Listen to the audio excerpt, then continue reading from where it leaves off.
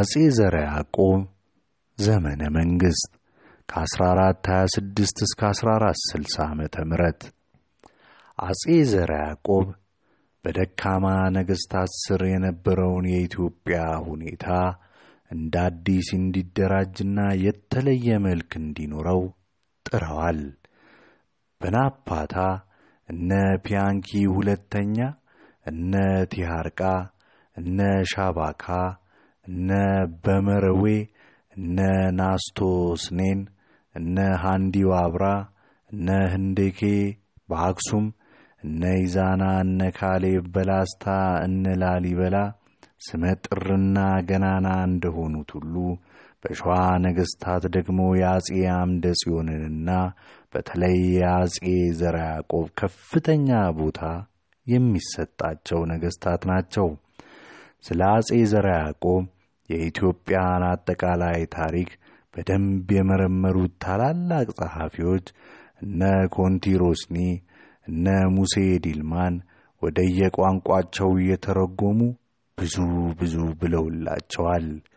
ኮንቲሮስኒ ታቅቦ ምስጢር የሚለውን የዘራ ያዕቆብ መጽሐፍ ግዕዙን ወደ ጣሊያንኛ በመተርጎም በጻፈው መጽሐፍ ዘራ ያዕቆብ በመካከለኛው ዘመን ከነበሩ የኢትዮጵያ ነገሥታት እስከ አጼ ምኒልክ ድረስ ዋነኛው ንጉሠ ነገሥት ብለዋቸዋል። የዘራ ያዕቆብ ታሪክ የሰፈረበት ዜና መዋላቸው የውስጥ አስተዳደራቸውን፣ የሕግ አወጣጣቸውን፣ የጨካኝነት ተግባራቸውንና የመሳሰሉትን አጠቃሎ የሚገልጽ ነው። በዚህ መጽሐፍ መነሻነት ፖርቹጋላዊው ዳልሜዳ፣ እንግሊዛዊው ጀምስ ብሩስ በፖርቹጋል ቋንቋና በእንግሊዝኛ የየራሳቸውን መጽሐፍ ሲጽፉ በደንብ ተጠቅመውበታል። በኋለኛው ዘመን በአጼ ቴዎድሮስ ሁለተኛ ጊዜ በእንግሊዞች ተዘርፎ ከሄደው አምስት መቶ ያህል የእጅ ጽሑፍ ጥራዝ መጽሐፎች ውስጥም የዘራ ያዕቆብ ዜና መዋል የሚገኝ ሲሆን እንግሊዞች ወስደው በክብር በብሪቲሽ ሙዚየም አስቀምጠው ማንም ጸሐፊ እየገባ እንደ ልቡ እንዲያጠናው ፈቅደዋል ይባላል። የጀርመኑ ሙሴ አውጉስቶ ዲልማን፣ የእንግሊዙ ዊልያም ራይት፣ የፈረንሳዩ ጁልየስ ፔሪሶ እየተመለከቱ በየቋንቋቸው ተርጉመው በማሳተም ለአንባቢ እንዲሰራጭ አድርገዋል። የአገራችን ጸሐፍትም ከዚህ በመነሳት ስለ ዘረ ያዕቆብ በሰፊው ጽፈዋል። ለምን እንደሆነ በውል ባልረዳውም ብዙዎችን ጠይቄ ምላሽ ላገኝ ባልችልም በርካታ ጸሐፍት ስለ አገራችን ነገሥታት ሲጽፉ ከአጼ ዘረ ያዕቆብ በኋላ ያሉትን ነገሥታት አንቱ እያሉ በመጥራት ነው የሚቀጥሉት። እኔም ከዚህ በፊት በነበሩ ታሪኮች በአንተ መጥቼ ከዚህ ከዘረ ያዕቆብ በኋላ በአንቱ መቀጠሌ ነው። ምናልባት አንቱታ የዘረ ያዕቆብ ግኝት ሳይሆን አይቀርም ወይም ለኋለኛው ዘመን ታሪክ ያመች ዘንድ ከወዲሁ ለመልመድ አስበው አንቱታውን ከዚሁ የጀመሩት ሁኔታ ተፈጥሮ ይሆናል። እንጃ ብቻ የአንቱታ አመጣጥ መች እንደሆነ በታሪክ በውል አይታወቅም። አጼ ዘረ ያዕቆብ በ1426 ዓመተ ምህረት ንጉሠ ነገሥት ሆነው የተሾሙ ቢሆንም የንግሥና ሥርዓታቸው ግን ለየት ባለ መልኩ ከጥቂት ዓመታት በኋላ በአክሱም ጽዮን ነው ያከበሩት። መንበረ ሥልጣኑን በጨበጡ የመጀመሪያው ዓመትም የፈጸሙት ተግባር ልዩ ልዩ የባዕድ አምልኮ ሥርዓትን የሚከተሉ ለነበሩ ኢትዮጵያውያን የሚሆን የቅጣት አዋጅ ማወጅን ነበር። በዚያ ዘመን በኢትዮጵያ የነበሩ ዜጎች ኦሪተ ሕግ እስልምናና ክርስትናን የሚከተሉ የነበሩ መሆናቸው እንዳለ ሆኖ የጣዖት አምልኮ የሚያመልኩም ነበሩ። በአጼ ዘርዓ ያዕቆብ ጊዜ ደግሞ እስከ ደግሞ ደስከ ደስከ የሚባል የጣዖት ምስል ነበር። ምስል ብቻ ሳይሆን ዛር፣ ቆሎ ወይም ሌላ ባዕድ አምልኮ በከፍተኛ ደረጃ መሰራጨቱ ታውቆ ነበር። ዜና መዋላቸው በመጀመሪያው ክፍል ደስክ የሚባል የጣዖት ምስል ይሁን ጋኔን በውል አይታወቅም ነበር። ለእርሱም ለዲያብሎስን ሰገድን ብለው አምነው ሌሎች ከእኛ ጋር ሰግደዋል በማለት በግልጽ ስለተናገሩ ተቀጡ እያለ ይቀጥላል። አጼ ዘርዓ ያዕቆብ የመጀመሪያውን አደገኛ ቅጣታቸውን የጀመሩትም ከዚህ ጉዳይ ጋር በተያያዘ ሁኔታ መነሻነት ነው። ስለዚህ ደስክ ጥቂት ነገሮችን እንረዳ። ደስክና ዲኖ በመባል ይታወቃሉ። በተለይ ከዲኖ የበለጠ ደስክ በጣም ተመልኳል። አለቃ ታዬ ለህትመት ባልበቃው ጽሑፋቸው እንዲህ ይሉናል። ሸዋ ቅንብቤት አጠገብ ሰንጋ ቦካ በላይ ብለት በምትባል ሸዋ ቅንብቤት አጠገብ ሰንጋ ቦካ በላይ ብለት የምትባል ትንሽ ኮረብታ አለች። ዛሬ የአቡነ ተክለ ሃይማኖት ታቦት ተተክሎበታል። ጥንት በዚያች ስፍራ ታላቅ ቤተ ጣዖት ቤተ ደስክ የሚባል የዛር መቅደስ ነበረ። የክርስቲያን ነገሥታት መኳንንቱም ዘመቻ ሲነሱ ከእርሱ ይሰፍሩና ከዛሩ አለቃ ምክር ተቀብለው ይዘምቱ ነበር። በሀገሩም የነበሩ የጋፋት ሕዝብ አምልኳቸው በቤተ ደስክ ነበር። ይህንንም ቤተ ደስክ በኋላ በአቡነ ተክለ ሃይማኖት አፈረሱት በማለት ይገልጻሉ።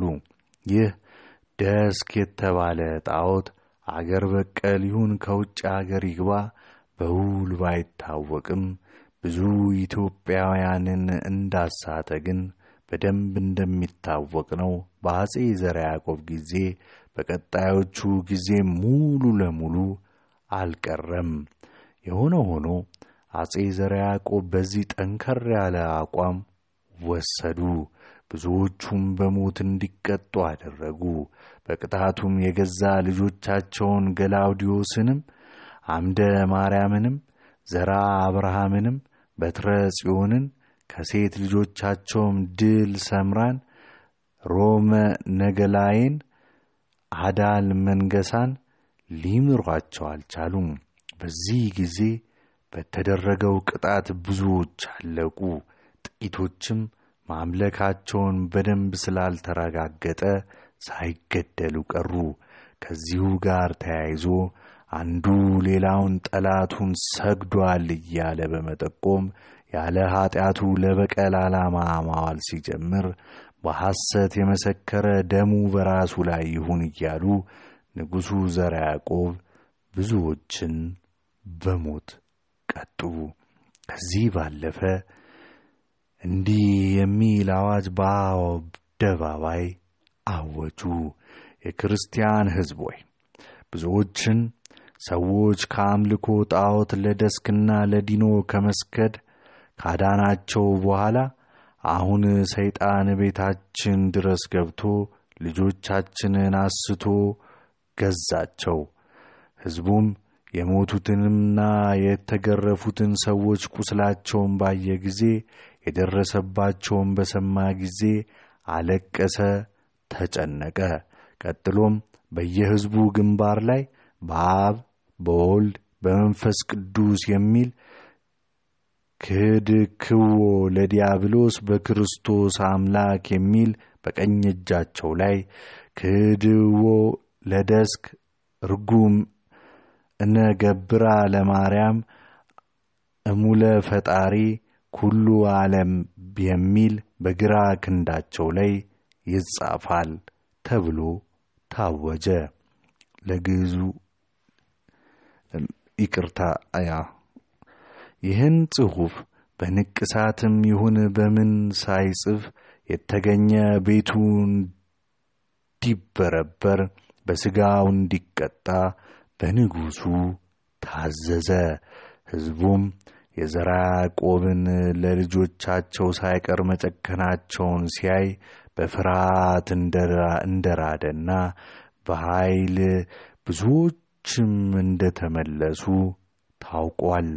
አጼ ዘራ ያዕቆብ ደስክና ዲኖን በአጭሩ ባየነው መልኩ ከዘመቱባቸው በኋላ ቀጣይ ሥራቸው ያደረጉት ሹም ሽርና የማዕረግ አሰጣጥን በተመለከተ ልዩ ልዩ ማሻሻያ ማድረግን ነው።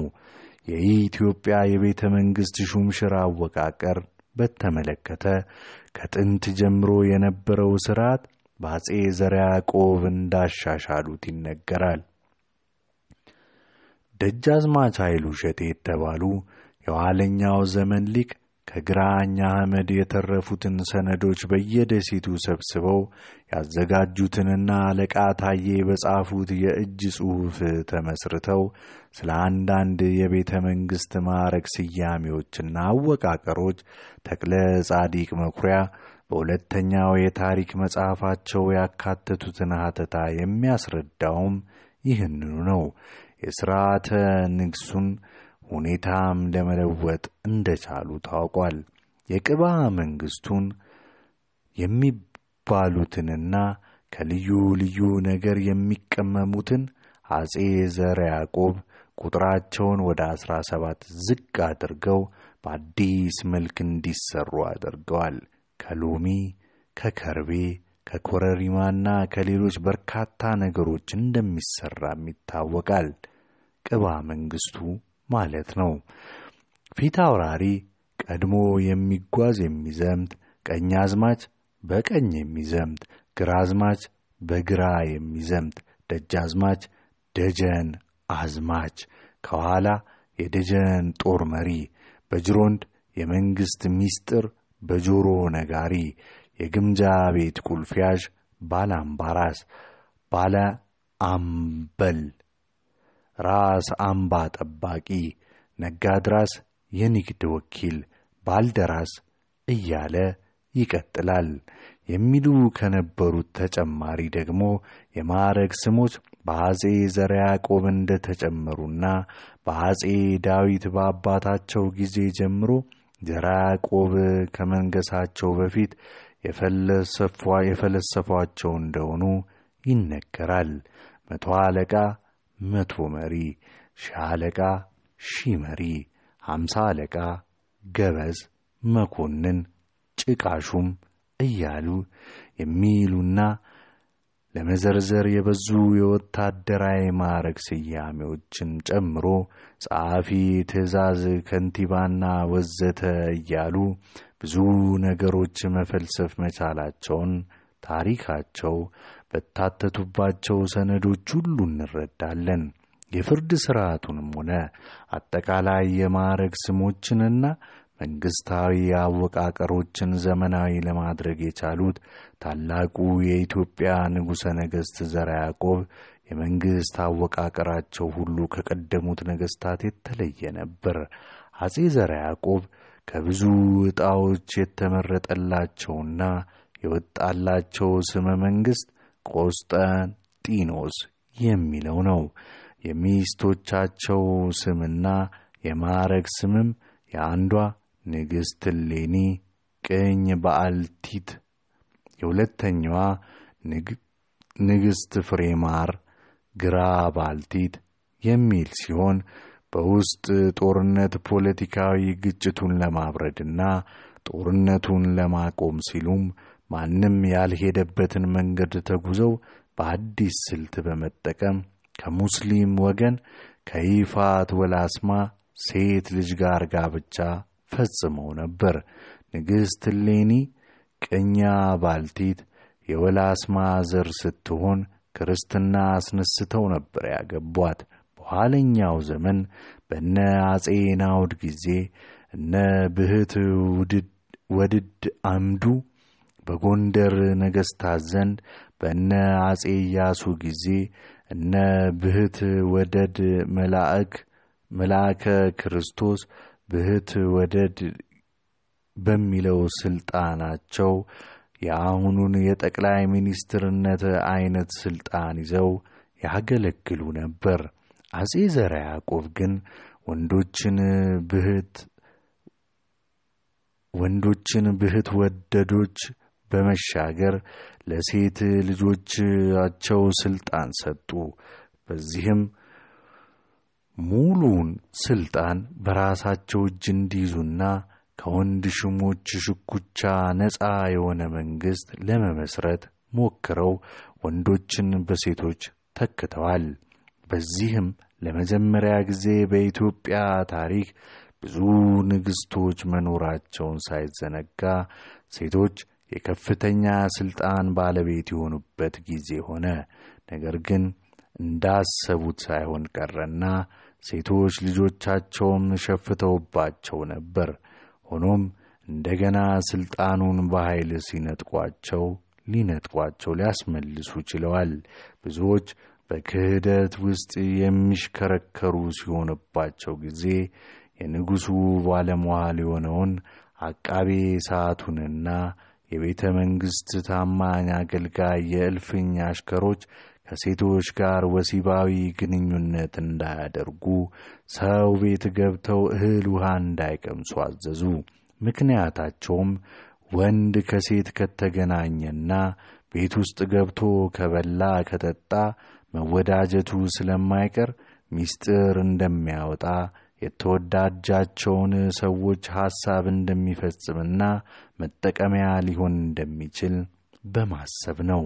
አጼ ዘርዓ ያዕቆብ ታሪካቸውን በየዘርፉ ቀጥለን እንደምናየው በአንድ በኩል እጅግ ሲበዛ ክርስቲያንና ሃይማኖታቸውን ቀናይ የነበሩ ሲሆኑ በሌላኛው ገጽታቸው ደግሞ አደገኛ ቅጣታቸው የመረረና የከበደ ጨካኝ ሆነው እናገኛቸዋለን።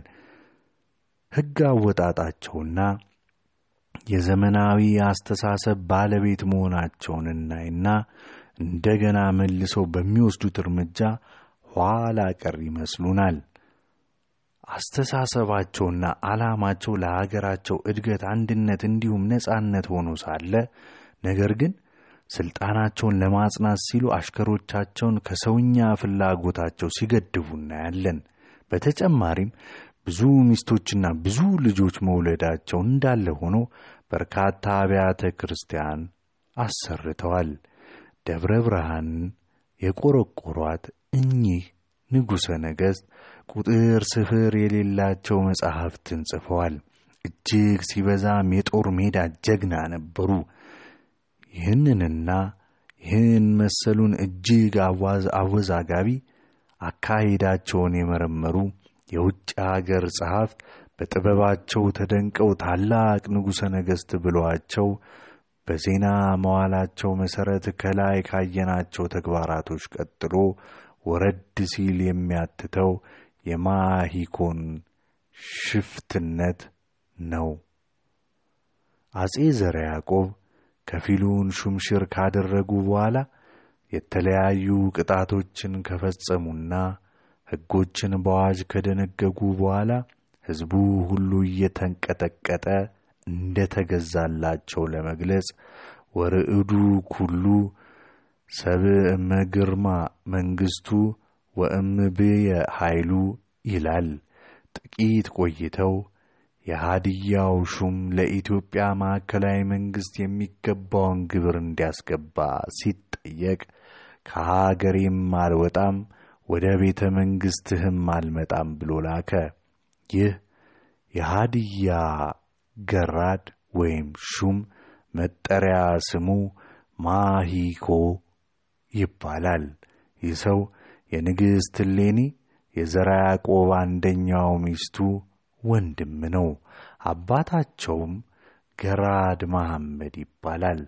ማሂኮ ለጦርነት መዘጋጀቱን ዳዋሮና ባሌን ለማጥፋት ለመውረርና ለመዝረፍ ይረዳው ዘንድም ከአዳል ባላባቶች ጋር ለጥምረት መላላኩን መልእክተኛው ነገራቸው። አጼ ዘርዓ ያዕቆብም የሃድያ ሕዝብ ሙሉ በሙሉ ወይስ በከፊል ነው ያበረለት ብለው በመጠየቅ ምክር እንዲለግስ መልእክተኛውን ሲያዙት ብዙዎች አብረውለታል። የሚሻለውም የአባቱን ወንድም ገራድ ባሞን ጠርተው በሃዲያ ይሹሙትና የራሱ ዘመድ ይውጋው የሚል ምክሩን ለገሰ። በዚህ ምክር ተስማምተው ገራድ ባሞን ከነ ጦሩ ካለበት ከዴገን ምድር አስጠርተው የሃዲያ ንጉሥ ብለው በመሾምና በመሸለም የወንድሙን ልጅ እንዲወጋ ላኩት። ሌሎች በዳሞት የሚገኙ ጦር ሰራዊቶችንም ጨመሩለት።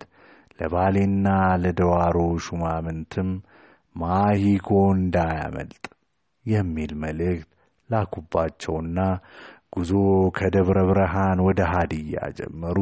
መነኮሳትና ሹማምንቱም በጸሎትና በምርቃት ጦሩን ሸኙት። ገራድ ባም ባሞም የተሰጠውን ሰራዊት ይዞ ሃዲያ ደረሰ። በዚህ ጊዜ ቀደም ሲል ሸፍተው የነበሩት ሁሉ ጥቂት ተዋግተው ስላልቻሉ እየመጡ ገቡለት። የግዛት ሹሞችም ለገራድ ባሞ መግባታቸውን የሰማው ዋናው የሃዲያ ሹም ገራድ ማሂኮ ለመሸሽ ጉዞ ሲጀምር ሥጋ ምድር በሚባል ቦታ ላይ ደረሱበትና ተያዘ። ከዚያም ገደሉትና እጆቹንና ጭንቅላቱን ቈረጡት። ከዚያ የድል ወሬ ለዘራ ያዕቆብ ሲደርስ በማህሌት በዘፈንና በጭፈራ የድሉ በዓል ተከበረ። የሃዲያ ገራድ ባሞ እና ተባባሪዎቹ የማይኮን የተቆረጠ አንገት እጅና እግር ይዘው መጥተው በአጼ ዘራ ያዕቆብ ፊት ቆመው የጦርነቱን ሁኔታ ተረኩ። ሽልማትና ሹመት ለሚገባው ሁሉ ተሰጠና ተሸኙ። ከዚህ ጦርነት በኋላ ቀደም ሲል መርጠዋት የነበረችውን ከተማ ደብረ ብርሃንን ወደ ማሳመርና ቤተ መንግሥታቸውን በአዲስ መልክ ወደ ማሳነጽ ነው ያመሩት። የደብረ ብርሃንን ከተማ ሲቆረቁሯትም የሥላሴን ቤተ ክርስቲያን አብረው አሰርተዋል።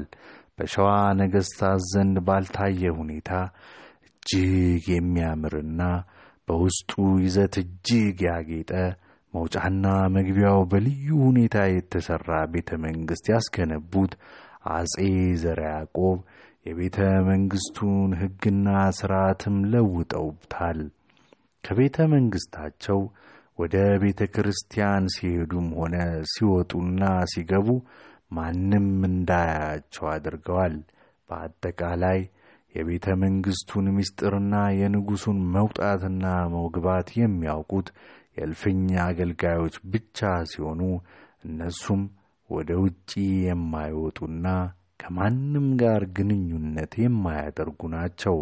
ካህናትና ሹማምንቱም በልዩና ምስጢራዊነት በተሞላበት ሁኔታ ብቻ ነበር ከንጉሡ ጋር ግንኙነት የሚያደርጉት። ከዚህ ቤተ መንግሥት ግንባታ መጠናቀቅ በኋላ ሥርዓተ ንግሣቸው ወደ ማክበር ነበር የተሸጋገሩት። የቀድሞ የሰለሞን ዘር ሥርዓት በደንብ መመለሱን ሕዝቡ ያረጋግጥ ዘንድ የንግሥና በዓላቸውን አክሱም ጽዮን ሄደው ለማክበር መወሰናቸውን ብዙዎችን አስደስቶ ብዙዎችን አስገርሞ ተቀባይነት እንዲኖራቸው ያደረገና በሸዋ ነገሥታት ዘንድ ያልተለመደ ነበር። አጼ ዘርዓ ያዕቆብ ወደ አክሱም ከማምራታቸው በፊትም የጨዋ ዘር የሚባሉትንና በመንግሥት ዘንድ መሾም የሚገባቸውን ሰዎች መርጠው በአዳል፣ በደዋሮ፣ በሃድያና በሌሎች ግዛቶች በተቆጣጣሪነትና በታዛቢነት በመካሪነትም ሆነ በበላይ ሹምነት እየሾሙ ሲልኩ እንዲህ የሚል መልእክት አብረው ላኩ። የሰጠናችሁ አዝማች እየገረፈ ቢያሰለጥናችሁ እየተቆጣችሁ ወደ ሽፍቶች አገር ሄዳችሁ በእኛና በአዝማቹ ላይ ትመኩበት፣ ታምጹበት ነበር። አሁን ግን በእናንተ ላይ ሌሎች አዲሶች ጨዋዎች እግዚአብሔር እንዳዘዘን ልከንላችኋል። የቀድሞውን ክፋታችሁን ትታችሁ በሥርዓትና በሕግ ኑሩ። እምቢ ያላችሁ እንደሆነ በእናንተ ላይ እንዳሰብነው ቅጣት እንፈርድባችኋለን። ከደዋሮም ሌላ በሃድያ፣ በባሌ፣ በቤጌ ምድር፣ በጎጃም፣ በፈጠጋር፣ በይፋት፣ በግድም፣ በአንጎት፣ በትግራይ፣ ባህር አምባ፣ በሰራዬ፣ በጸርዋጀት በእነዚህ ሁሉ አገሮች ለእያንዳንዳቸው ለሀገራቸው ክፍልና ስም እየሰጡ ጨዋዎች የሚሉትን ደልድለው ላኩላቸው። ከሁሉም በላይ ባሕረ ነጋሽ የሚለውን ማዕረግ ከሁሉም ማዕረጎች እንደሚበልጥ ገለጹ። በዚህ ሥልጣን ስርም የሽሬን፣ የሰራዮን፣ የሐማሴን ከንቲባዎችን በበላይነት እንዲገዛቸው ሥልጣን ሰጡ። ይህ ስያሜ እስከ ቅርብ ጊዜ ድረስ ባሕረ ነጋሽ በተለያዩ አካባቢዎች ያሉትን ግዛቶች በበላይነት ለሚያስተዳድር ሹም የሚሰጥ የማዕረግ ስም መሆኑ ይታወቃል።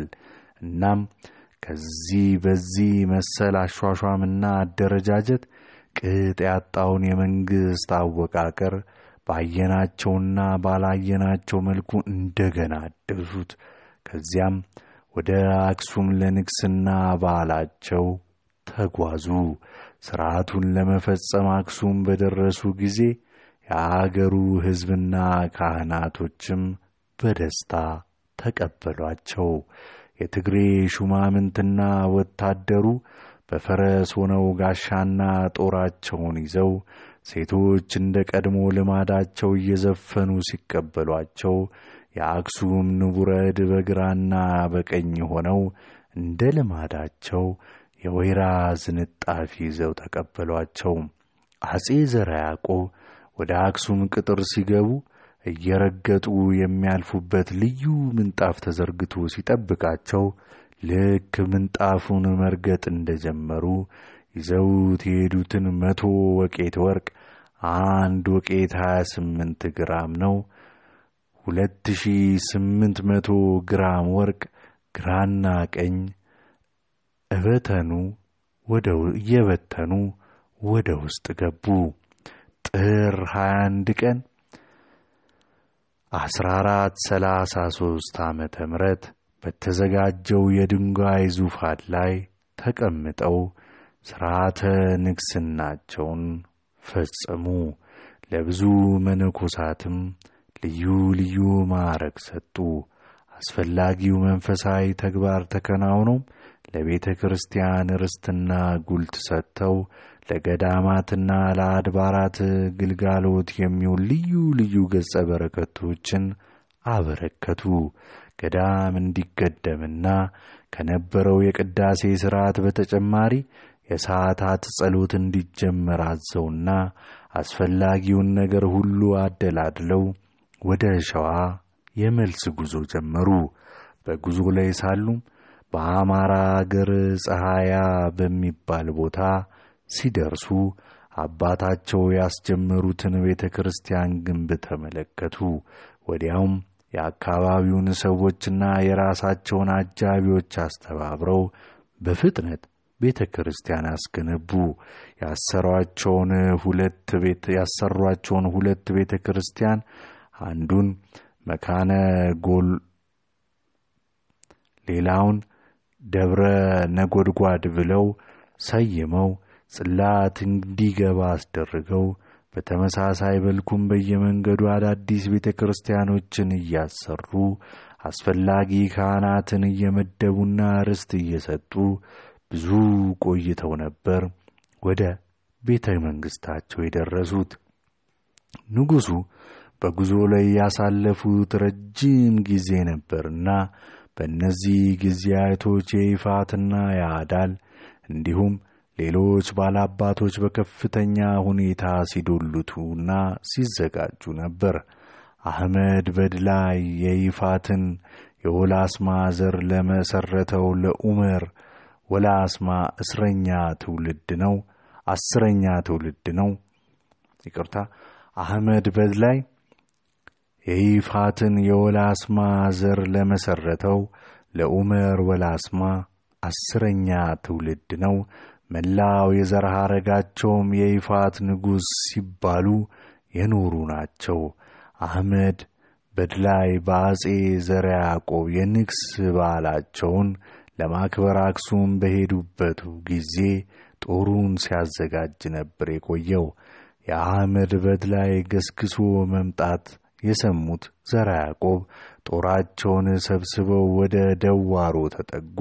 በዚህ ጊዜ የሃድያው ገራድ መጥቼ እንድረዳህ ከፈለክ ቃልህን ላከብኝ ብሎ ላከባቸውና በተመሳሳይ ለአህመድ በድላይ ኅብረቴ ከአንተ ጋር ነውና እርዳታ ካስፈለገ ላከብኝ ብሎ ላከበት። አጼ ዘርዓ ያዕቆብ እስክንጠራ ድረስ ጦርህን አዘጋጅ ተጠብቅ ብለው ላኩበት። ይህ መሐመድ የተባለው የሃድያው ገራድ በንጉሡ የተሾመና የሚስታቸው የንግሥት እሌኒ ቅኛ ባልቲት ወላጅ አባት ነው። ዘርዓ ያዕቆብ የአህመድ በድላይን የጦር ብዛት አይተው ተደነቁ። የንጉሡ ጦር አነስተኛ በመሆኑም ካህናትና ሹማምንት ስጋታቸውን ገለጹ። በሰራዊት ብዛት አትመኑ በሚል የሌሎችን ቃል ባይሰሙ ቀሩ። ጥሩምባ እንዲነፋ፣ ነጋሪት እንዲጎሰም፣ ግራ ቀኝ ባንዲራ እንዲተከል አዘዙ። አህመድ በድላይ ንጉሡ አይመጣም አላላችሁኝም ነበር የሚል ጥያቄ አቅርቦ ከወታደሮቹ ጋር ሲነጋገር ድንገት ጦርነቱ ተጀመረ። ከፍተኛ እልቂትም ደረሰ። አህመድ በድላይና ዘርዓ ያዕቆብ ብቻ ለብቻ የጨበጣ ውጊያ ጀመሩ።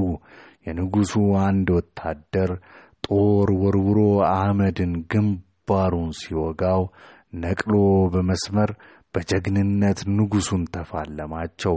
እጅግ ተጠጋግተው ነበርና አጼ ዘርዓ ያዕቆብ በጦር አንገቱን ከወጉት በኋላ ጭንቅላቱን ቆረጡት። የተረፈ ወታደር እንዳይኖር በማለት አስፈጇቸው።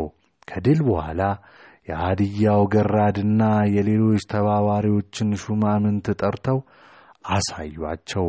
የተለመደው የድል በዓል በሥጋዊና በመንፈሳዊ ዝማሬና ጭፈራ ተከበረ።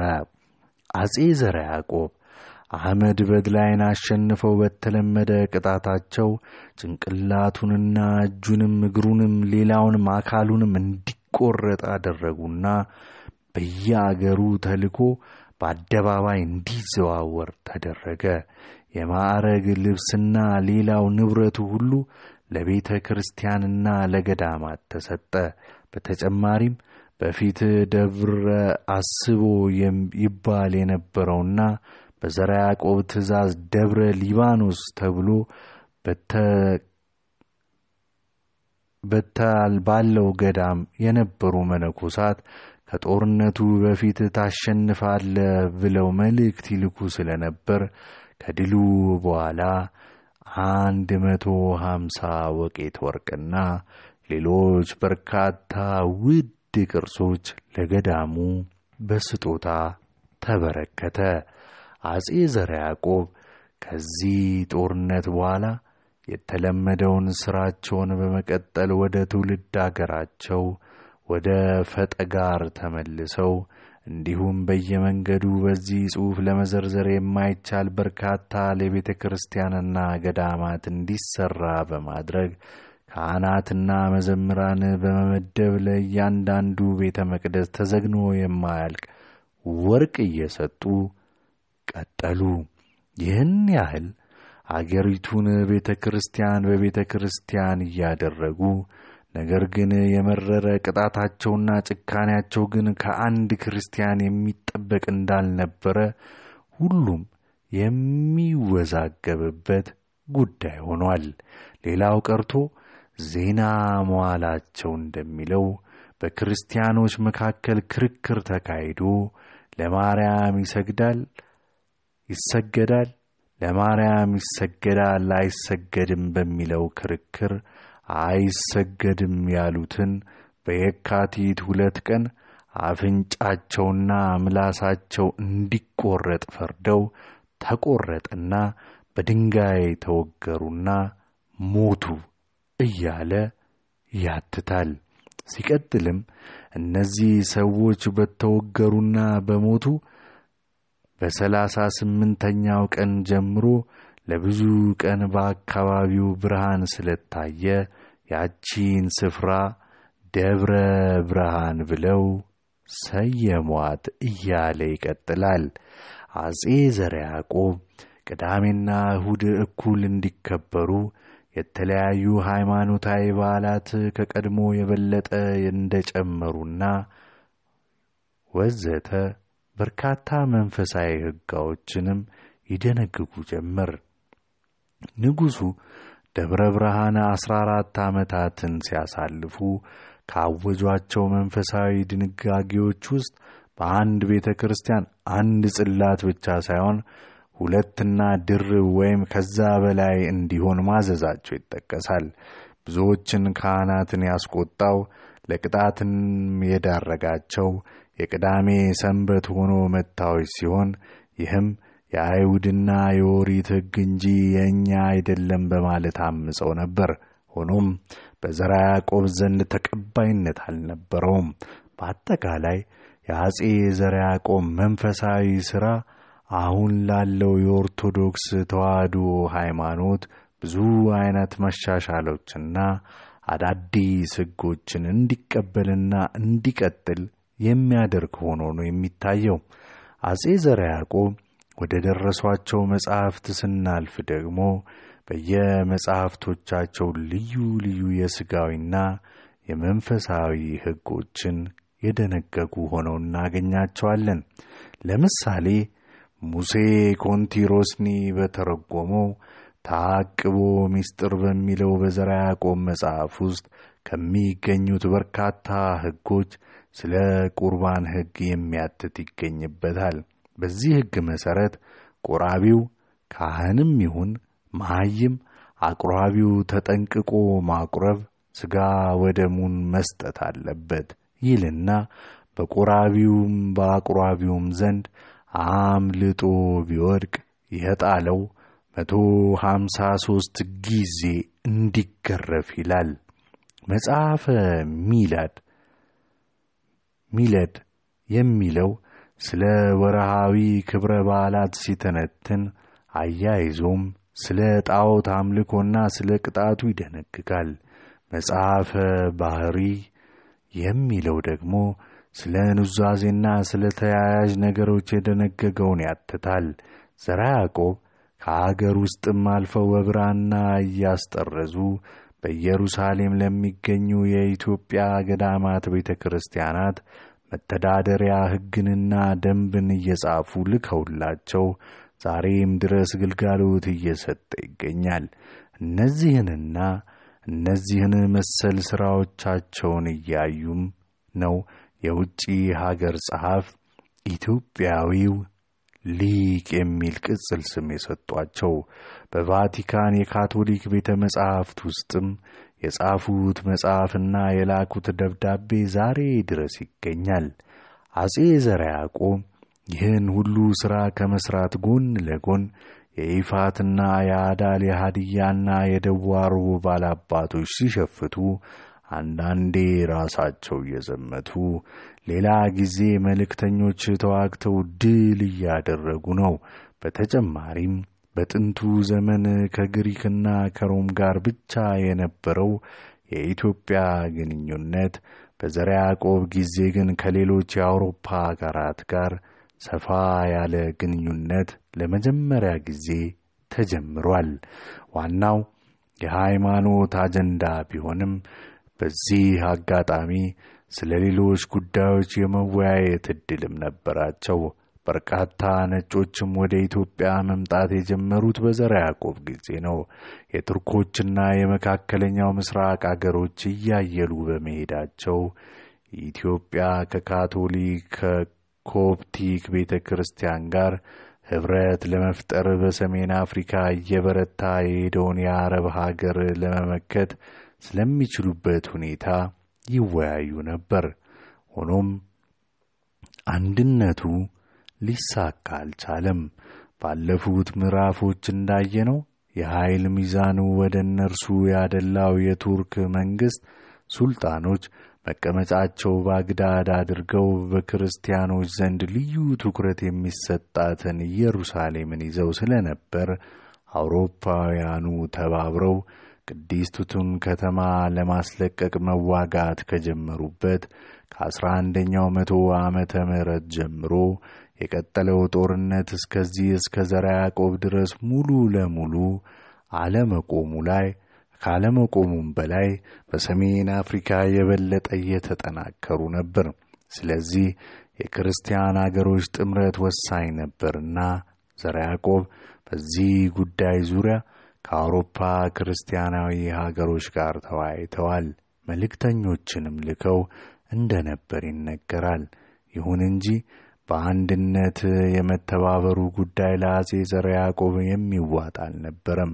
ምክንያቱም እጅግ እያየሉ የሄዱትን ኦቶማን ቱርኮችን ከሌሎች የአውሮፓና የላቲን ሀገሮች ጋር ተባብሮ መፋለም ማለት ኢትዮጵያ ውስጥ ያለውን የይፋትና የአዳል ሌሎች ተቃዋሚ ወገኖችን አመፅ የበለጠ ማቀጣጠል እንደማለት ነበር። ይህ በእንዲህ እንዳለ የኦርቶዶክስና የካቶሊክ ሃይማኖት ተከታዮች እርስ በርስ ይጣሉ ነበርና ኅብረቱ ሳይሰምር በመቅረቱ ለቱርኮች ሰርግና ምላሽ ሆነላቸው። በዚያ በፍሎራንስ ጉባኤ ወደ ጣሊያን አጼ ዘርዓ ያዕቆብ ያልሄዱበትና መልእክተኛ የላኩበትን ምክንያት በደብዳቤ ሲገልጹ የቱርክ ባለሥልጣኖች እንዳያውቁና ሀገሬ የበለጠ ችግር ውስጥ እንዳትገባ ሰግቼ ነው የሚል ቃል እንዳካተቱ ሄነሪ ቼሩሌ የተባለ ጸሐፊ የኢትዮጵያ ስነ ጽሑፍ ታሪክ በሚለው መጽሐፍ ወደ ጣሊያንኛ ተርጉሞ የዘርዓ ያዕቆብን ደብዳቤ ያሰፈረበት ገጽ 143 ከ144 ላይ ይታያል። አጼ ዘርዓ ያዕቆብ ብልህነታቸውና አዋቂነታቸው እንዳለ ሆኖ ጭካኔ የተሞላበት ቅጣታቸውም እንደቀጠለ ነው። የቅጣት አዋጃቸውን የሚመለከት ጽኑነቱን ለማስገንዘብ ቤተሰቦቻቸውን ሳይቀር ክስ ከቀረበባቸው የጭካኔ በጭካኔ እንዲቀጡ ያደርጋሉ። በዚህም ከበርካታ ሚስቶቻቸው ውስጥ አንዷ የነበሩት ጽዮን ሞገሳን እንዴት እንደ ቀጧቸው እኔና ታሪካቸውን ወደ ማጠቃለል እንለፍ። ጽዮን ሞጋሳ ጽዮን ሞገሳ የአጼ ዘርዓ ያዕቆብ ሚስት ሲሆኑ ከዘርዓ ያዕቆብ ቀጥሎ የነገሱትን አጼ በደ ማርያምን ወልደዋል። ዘርዓ ያዕቆብ ስልጣን ላይ እያሉ ጽዮን ሞገስ ሞገሳ ጽዮን ሞገሳ ልጃቸውን ሊያነግሱ ከካህናትና ከሹማምንት ጋር እየተላላኩና እየዶለቱ ነው የሚል ክስ ቀረበባቸው። ዜና መዋሉ እንደሚለው አንቺ እኔ በመንግሥቴ ሳለው ልጅሽ እንዲነግስ በየአድባራቱ ካሉ ቅዱሳን ጋር ተላልከሻል ተብለው ሲጠየቁ እንዲህ ያለ ሥራ በአፌም በሕሊናዬም አልሞከርኩም፣ አልሠራሁም የሚል ምላሽ ቢሰጡም ተቀባይነት አጡና በግርፋትና በድብደባ እንዲቀጡ ተወስኖ በዚሁ ምክንያት ሞቱ። ልጃቸው በእደ ማርያምም ታስሮ ጥቂት ከተሰቃየ በኋላ ንጹሕ መሆኑ ታምኖ እንዲፈታ ተደረገ። አጼ ዘርዓ ያዕቆብ ሰላሳ አራት ዓመት በቆየ የሥልጣን ዘመናቸው ከይፋት፣ ከሃዲያ፣ ከአዳል፣ ከሰሜን ፈላሾችና ከጸለምት ሹሞች ጋር የተደረገውን ጦርነት ብልህነት በታከለበት አካሄድ እያሸነፉ የቆዩ ባዕድ አምልኮን ከኢትዮጵያ ለማጥፋት የጣሩ ግጭትን በጋብቻ ለማርገብ የሞከሩ የቤተ ክህነትና የቤተ መንግሥት ሕግ እንዲሁም የሥጋዊ አስተዳደር አዋጆችን ከቀድሞ የበለጠ ያሻሻሉና አዳዲሶችን የጨመሩ በርካታ ገዳማትና ቤተ ክርስቲያን ያሰሩ ብዙ መጽሐፎችን የጻፉና ረጅም የሥልጣን ቆይታቸውን በልዩ ልዩ ሥራ ያሳለፉ ንጉሠ ነገሥት ናቸው። ጭካኔያቸው የበረታ ነበር። ንጉሥ አጼ ዘርዓ ያዕቆብ ከመንገሳቸው በፊት በአምባ ግሸን ሰፊ የመማሪያና የመመራመሪያ ጊዜ ነበራቸው። ሲኖዶስንና ሕጉን እጅግ የመረመሩና ያሻሻሉ ናቸው። ለዚህ መጽሐፍ ከፍተኛ ግምት እንደነበራቸውም ከነገሱ ከጥቂት ዓመታት በኋላ ይህንኑ መጽሐፍ በብራና ጽፈው ወደ ኢየሩሳሌም ገዳማት መላካቸውና ሕግና ሥርዓቱ በኢትዮጵያ እንዲፈጸም ከልብ መጣራቸውን ያሳያል። ከመንፈሳዊ ሥራቸው ባሻገር በፖለቲካ በአስተዳደር የተሳካላቸው ነበሩ። ከቀድሞ ጀምሮ የነበረውን የአገር ባላባትና ባለጉልት ወደ ጎን በማድረግ የቅርብ ሹሞቻቸውን ብቻ በባላባትነት ሳይሆን በወኪልነት እንዲሰሩ በማድረግ በየጊዜው የሚከሰተውን የየግዛቱን ንጉሶች ሽፍታነት አርቀዋል።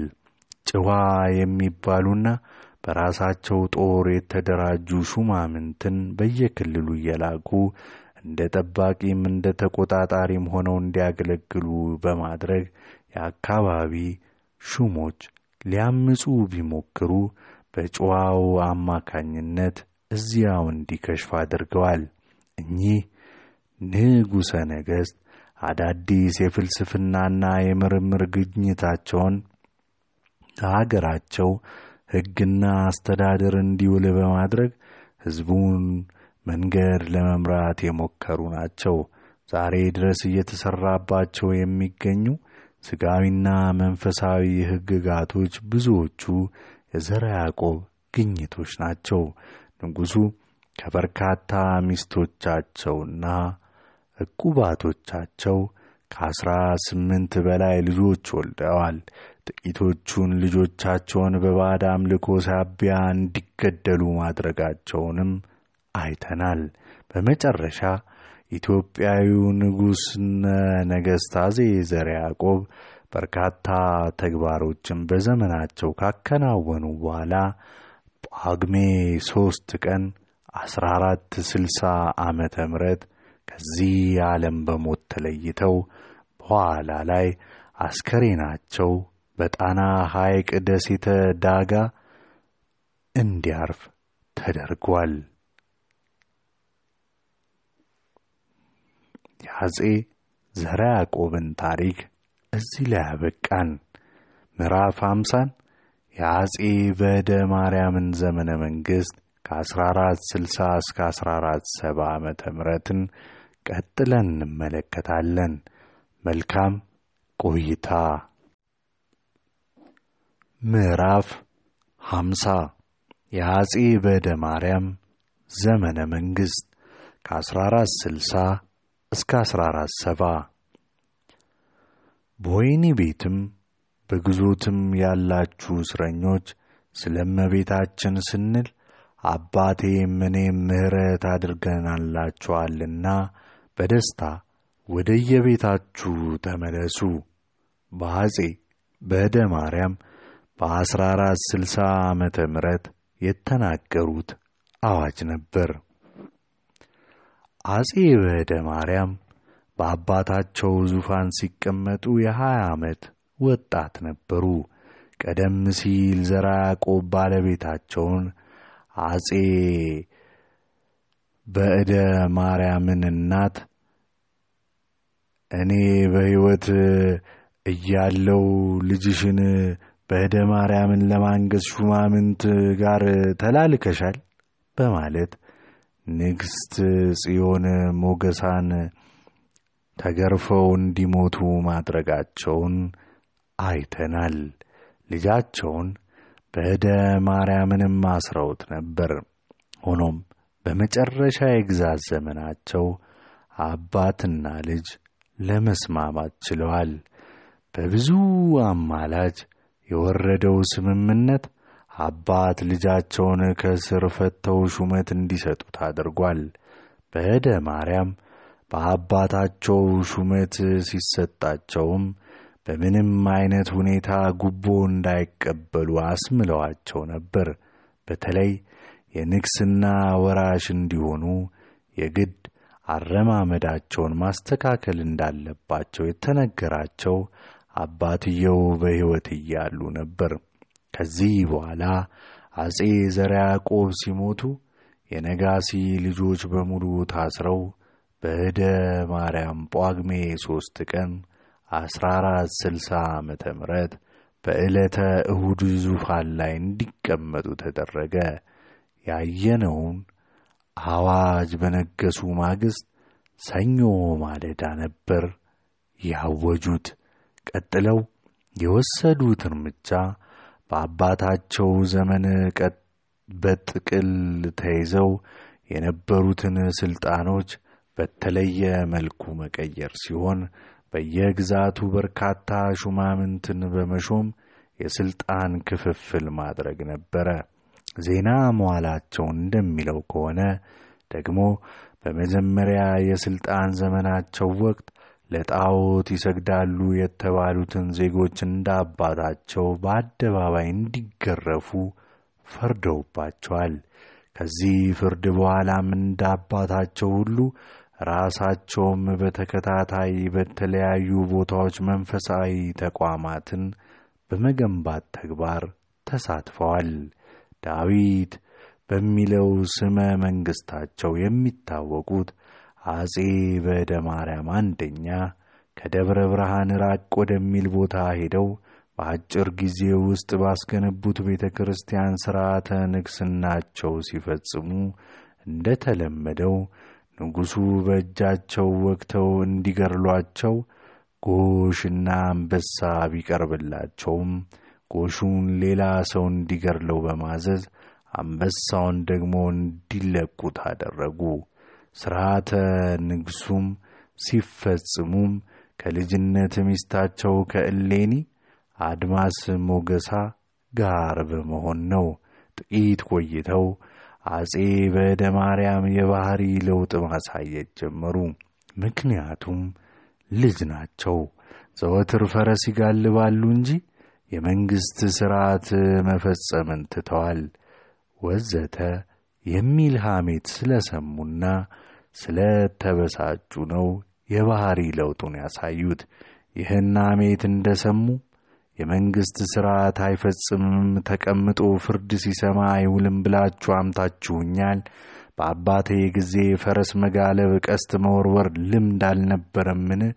እንዲህ እያሉ ያሙኝን ሁሉ ይዛችሁ አምጡልኝ በማለት የበታቾቻቸውን አዘዙ። እነዚህ ሐሜተኞች ተለቅመው ካልወጡ እነዚህ የበታች ሹማምንት እንደሚገደሉም ታዘዘባቸው። ከዚያም ብዙ መነኮሳት ተይዘው ቀረቡ። ተጠይቀው ስለ ካዱ እግራቸውን ከስር እየቆረጡ በጎንደር አካባቢ ማለትም ወደ ደቅ፣ ወደ ጉንድ፣ ወደ ጉሽ አሮ እና ወደ ደራ እንዲሁም ወደ ሌሎች ገዳማት በግዞት እንደላኳቸው ይነገራል። በዚህ ጊዜ ሕዝቡ ሁሉ ይህስ ከአባቱ ይበልጥ ጨካኝ ነው ለማለት ተገደደ። ይህ በእንዲህ እንዳለ አንገዛም እያሉ ዘወትር ይሸፍቱ የነበሩት የአዳልና የይፋት ባላባቶች በአጼ በዕደ ማርያም ጊዜ ባላባታቸው መሐመድ ቤን በድላይ እንግዲህ በመካከላችን ሰላም ይሁን፣ እኔም በየዓመቱ ግብሬን ይዤ እመጣለሁ፣ አስገባለሁ፣ ልገዛልህም ዝግጁ ነኝ። አንተም ወታደሮችን ወደ አገሬ አትላክብኝ የሚል መልእክት ላከ። ይህ መልእክት ንጉሥ ንጉሡ ንግሥናቸውን በፈጸሙበት በወረይሉና በአማራ ሳይንት መካከል በሚገኘው ማረፊያ ቦታቸው ሆነው ሲደርሳቸው መልእክቱን በሰላምና በደስታ ተቀብለው መልእክተኞቹንም ሸልመው ነበር የመለሷቸው። በዚህ መልክ የአዳልና የይፋት ጉዳይ በመረጋጋቱ ንጉሡ ደስ ቢሰኙም ወዲያው ግን በዋጅራት በራያና ዘቦ በኩል አመፅ ተነሳባቸው። እነዚህ ሕዝቦች አገሩን ዶባ፣ ሰዎቹን ሰባ ዶባ ይላቸዋል የታሪክ መዛግብቱ። ቦታው ከዞብልና ከየጁ በስተ ምስራቅ ከአውሳና ከደንከል በስተ ምዕራብ የሚገኝ ሲሆን ሕዝቦቹም የራያና ዘቦ ነገዶች ናቸው። እናም ዘወትር ያደርጉት እንደነበረው ያን ጊዜም ያመጹት ነጋዴን በመዝረፍ ግብር በመከልከልና በሌሎች መሰል ተግባራቶች ነው። አጼ በዕደ ማርያምም በደብረ ነጎድጓድ በአትሮኖስ ማርያም በርካታ የመንፈሳዊና አስተዳደራዊ ጉዳይ ከፈጸሙ በኋላ ለዘመቻ መዘጋጀት ጀመሩ። ጦርነቱ ተጀምሮ ብዙ እልቂት ካስከተለ በኋላ የንጉሠ ነገሥቱ ወታደሮች የበላይነት ሊጠናቀቅ ቻለ። ከዚያም በዶባ በአንጎት በኩል አድርገው ከመመለሳቸው በፊት ሹም ሽሩን ድልድሉን በአዲስ መልክ አዋቅረው የንግሥናቸውን አንደኛ ዓመት ወደ አክሱም ሄደው ለማክበር ለማደስ ሲዘጋጁ ሌላ አዲስ የውስጥ ግጭት ተከሰተ። ከላይ እንዳየነው ከመሐመድ ቤን በድላይ ጋር ባደረጉት ስምምነት መሠረት ከአዳሎች ጋር ሰላም ወርዶ የነበረ ቢሆንም ከጥቂት ጊዜ በኋላ በመሐመድ ቤን በድላይ እግር የተተካው ኡስማን ቤል ሱሌማን ለውጊያ ተዘጋጅቶ ከአዳል ተነስቶ መጣ የሚል ወሬ ደረሳቸው። ስለዚህ አጼ በዕደ ማርያም ወደ አክሱም ለንግሥና በዓል በመሄድ ፋንታ ወደ ሸዋ ለመመለስ ተገደዱ። ወታደሮቻቸውንና ፈረሰኞችን አዘጋጅተው ጉዞአቸውን ጀመሩ። የሸዋና የይፋት ሕዝብም ተቀበላቸው። ይፋት ደርሰው ጊዜያዊ ድንኳናቸውን አስተከሉ። በጉዞአቸው ወቅትም የተለያዩ አልባልታዎች ከበታች ሹማምንቶቻቸው ይደርሳቸው ነበርና ባረፉበት ቦታ ሁሉ ሐሜተኞችን፣ ጥፋተኞችን የተባሉትን ሁሉ እያስጠሩ የጭካኔ ቅጣታቸውን በድጋሚ ሰነዝሩባቸው ጀመር። በዚህ ሳቢያም ሁከቱ እየተጋጋለ ሄደ። ከዚያ በኋላ የደዋሮ የዳሞትንና የሌሎች ግዛቶች ወታደሮች ወደ አዳል አገር ሄደው እንዲዋጉ በመላክ ራሳቸው ንጉሡ ደግሞ ከቀሪ ተከታዮቻቸው ጋር ወደ ደዋሮ ገሰገሱ። እነዚህ የተላኩ ወታደሮችም የአዳልን አገር አሸንፈው ተመልሰው ደዋሮ ላይ ከንጉሠ ነገሥታቸው ጋር ተገናኙ። ሆኖም ወታደሮቹ አሸንፈን መጣን ይበሉ እንጂ ድላቸው ሙሉ ለሙሉ በማሸነፍ የተጠናቀቀ እንዳልነበር ከጊዜ በኋላ ተደረሰበት። የአዳሉ ጦርነት አንድ እርግጠኛ የሆነ ውሳኔ ሳያገኝ በውስጥ በየአውራጃው የተለያዩ አድማዎች በንጉሡ ላይ የተደረጉና ጥፋተኛውም እየበረከተ በመሄዱ የጠቅላላው የአጼ በዕደ ማርያም መንግሥት በሁከት የታጀበ መሆኑ ቀጠለ። አሸነፍን ያሉት ወታደሮችም አንዱን የአዳል ክፍል ብቻ ነበርና ያሸነፉት። ጦርነቱ እንደገና በአዲስ መልክ ተጋግሎ ሊቀጥል ግድ ሆነ። የአዳሉ መሪ ኡስማን ቤ ሱሌማንም አልተገደለም፣ አልተማረም። እናም ንጉሠ ነገሥቱ እንደ አባታቸው ድል ሳይቀናቸው ተሸነፉ። በድጋሚ የተላኩት በርካታ ወታደሮችም ለወሬ ነጋሪ ሸሽተው ካመለጡት በቀር በሙሉ በተጋጋለው ጦርነት አለቁ። አጼ በደ ማርያም የላኩት ጦር ሲሸነፍና መልእክት ከመጣላቸው በኋላ ነገሩን ዳር ሳያደርሱት ሊተዉት ተገደዱ። በአጼ ዘርዓ ያዕቆብ ጊዜ ተዳክመው የነበሩት አዳሎች በአስራ አራት ስልሳዎቹ በአጼ በደ ማርያም ጊዜ መልሰው ኃይል በመሆን የቀኝና የግራ የጦር መሪዎችን ብህት ወደዶችን ከነጦር ሰራዊታቸው ሊያሸንፉ ችለዋል።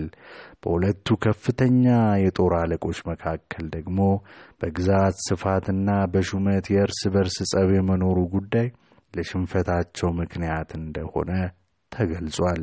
ሁለቱ የሚናናቁ አዝማቾች ደረጃቸው ተመጣጣኝ የሆነ ባለስልጣኖች ሆነው ሳለ በጦርነት ጊዜ ግን አንዱ ሌላውን እያዘዘ እንዲዘምት ስልጣን ተሰጥቶት ነበርና ሌላኛው ተቀይሞ ውጊያውን ቸል እንዳለም ይነገራል። ንጉሡም ሁለቱን ብትወደዶች ቢትወደዶች ቅራኔ እንዳለባቸው እያወቁ በአንድነት መላካቸው እንደ ትልቅ ትልቅ ስህተት ተቆጥሮባቸዋል። በአጼ በደ ማርያም የግዛት ዘመን ውስጥ ሰፊ ታሪካቸውን ይዞ የሚገኘው ከአትሮኖስ ቤተ ክርስቲያን ጋር የነበራቸው ቆይታ ነው። እንደ ጀምስ ብሩስ አገላለጽ በአጼ በደ ማርያም ዘመን በራሳቸው ትእዛዝ በአትሮኖስ ማርያም ቤተ ክርስቲያን ውስጥ የማርያምንና የኢየሱስን ምስል የሳለው ፍራንቺስኮ ደብራንካ ሊዮን የተባለ ጣሊያናዊ ነው። ኢትዮጵያውያን ካህናት በዚህ ስዕል የተነሳ ከሳሊው ጋር ጸብና ክርክር ፈጥረዋል። የክርክራቸው መነሻ በሳሊው ነጭ መሆንና ካቶሊክ በመሆኑ አልነበረም። ይልቁንም በካቶሊክ ደንብ ማርያም ኢየሱስን አቅፋ የያዘችው በግራ እጇ ስለሆነ እንደ ምስራቅ እንደ እስክንድሪያ ቤተ ክርስቲያን ደንብ በቀኝ እጇ እንዳቀፈችው አድርጎ ለምን አልሳለውም በማለት ነው በሚል የግጭቱን መነሻና የአጼ በደ ማርያምን ተግባር እየተነተነ ይቀጥላል። ሆኖም ምስሉ ለረጅም ጊዜ ሳይነሳ ቆይቷል። በአጼ በደ ማርያም ጫካ አስመንጥረው ቤተ ክርስቲያን በማሰራት አትሮኖስ ማርያም ብለው በመሰየም ጽላት እንዲገባ አስደርገዋል። አትሮኖስ ማርያምን አሰርተው በዓሉን አክብረው ከጨረሱ በኋላ ለካህናቱ መተዳደሪያ ከአባይ ወንዝ ጀምሮ እስከ ጅማ ድረስ ያለውን ምድር በርስትነት ሰጥተዋል። ቀጣይ ሥራቸው ያደረጉት የአጼ ቴዎድሮስ አንደኛን አጽም ከአሰሮ የይኩኖ አምላክንና የሌሎች ኢትዮጵያዊ ነገሥታት የነበሩትን አስራ ስምንት የሚሆኑ የነገሥታትና የጳጳሳትን አጽም ከያሉበት አስለቅመው እዚሁ አትሮኖስ ማርያም ቤተ ክርስቲያን እንዲቀመጡ ማድረጋቸው ነው። በአጼ በደ ማርያም ምን የትዳር ሁኔታ ስናይ አንድ ለአንድ የሚለውን የወንጌል ቃል ቸል በማለት እንደ ሌሎች ነገሥታት ከአንድ በላይ ሚስት የነበራቸው ሆነው እናገኛቸዋለን። በዘመናቸውም ሁለት ሚስት በአንድ ጊዜ ያገቡ ሲሆን ከአንዷ አንድ ወንድ ልጅ ወልደዋል። ከአንዷ ሕጋዊ ሚስታቸው እስክንድርን ሲወልዱ ከቁባታቸው ደግሞ ሌላ ልጅ ወልደዋል። በአስራ አራት አርባ ዓመተ ምሕረት የተወለዱትና በአስራ አራት ስልሳ ዓመተ ምሕረት በሀያ ዓመታቸው የነገዙት አጼ በደ ማርያም ከአስር ዓመታት የንግሥና ቆይታ በኋላ በምን እንደሆነ ባልታወቀ ሁኔታ ሲሞቱም የተኳቸው ንጉሥ ልጃቸው አጼ እስክንድር ነበሩ።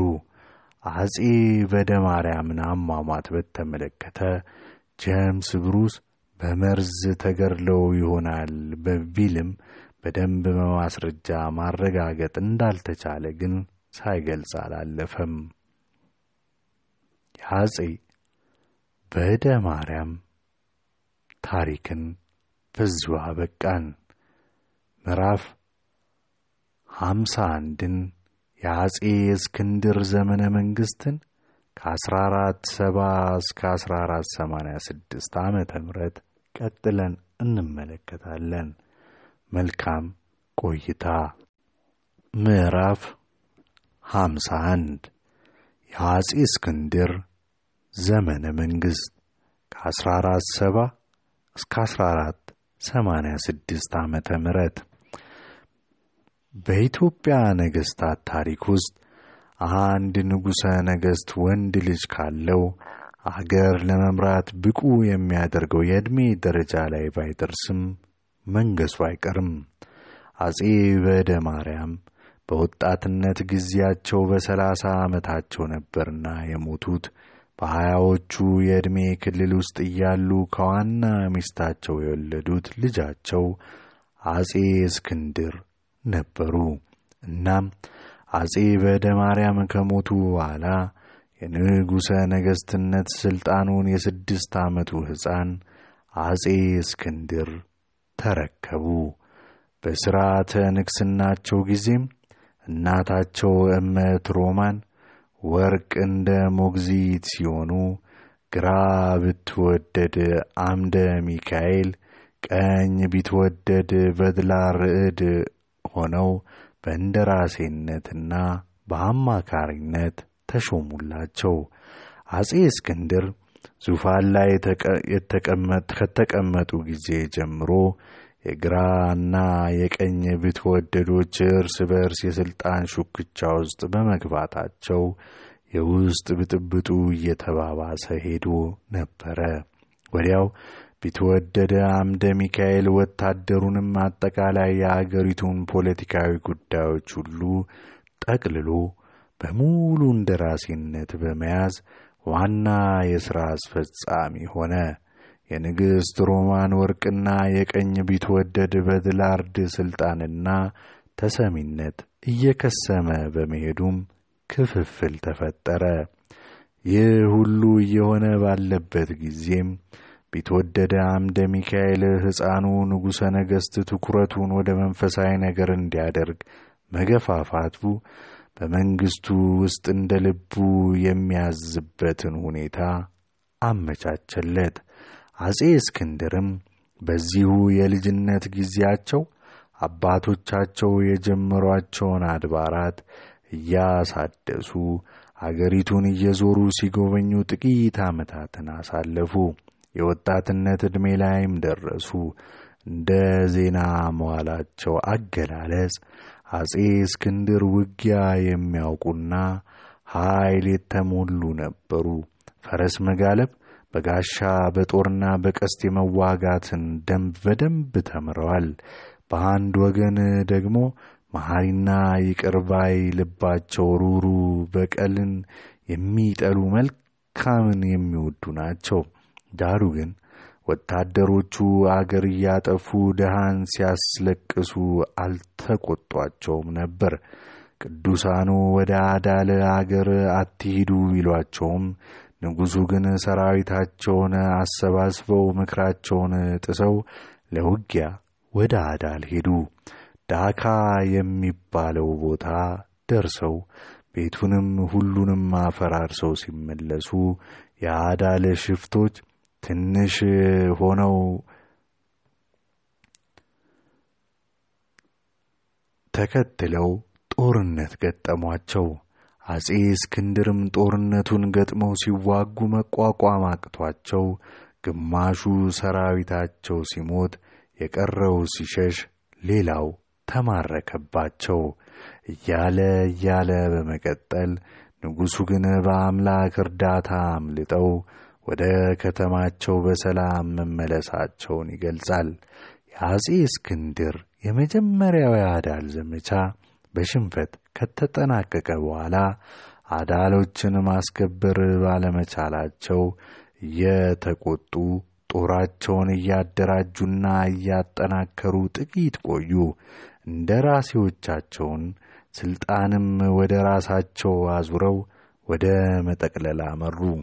በዚህ ጊዜ አጼ እስክንድር የአስራ አምስት ዓመት ልጅ የነበሩ ቢሆንም ስልጣን በየጊዜው እየቀነሱባቸው የነበሩ ባለሥልጣናት ቂም ያዙባቸውና በየጊዜው እየከዷቸው አስቸገሯቸው። በዚህም ዋናው የጦር አበጋዛቸው ዘስሉስ የተባለ ሳይቀር ከነሰራዊቱ ከዳቸው። ይህን አጋጣሚ የአዳል ባላባቶች ሊጠቀሙበት ፈለጉ። እንደ ጀምስ ብሩስ አገላለጽ ከበደ ማርያም ጀምሮ የኢትዮጵያውያን የታወቀውን ግዛት እየወረሩ አሁንም በአጼ እስክንድር ጊዜ በየጊዜው ጦርነቱን የሚያነሱትን የወላስማ ዘሮች ወይም የአዳል ባላባቶች ናቸው። አጼ እስክንድርም በሁለተኛው ዘመቻ ጊዜ የተዋጋው አሚር ማህፉዝ ከተባለ ጋር ነው። ምንም እንኳን በመጀመሪያው ጦርነት ንጉሡ ተሸንፈው ቢመለሱም ከዚያ በኋላ ባደረጉት ውጊያ ግን የአዳሉን ንጉሥ ልጅ ገድለው ብዙዎችን ማርከው ለማስገበር ችሏል።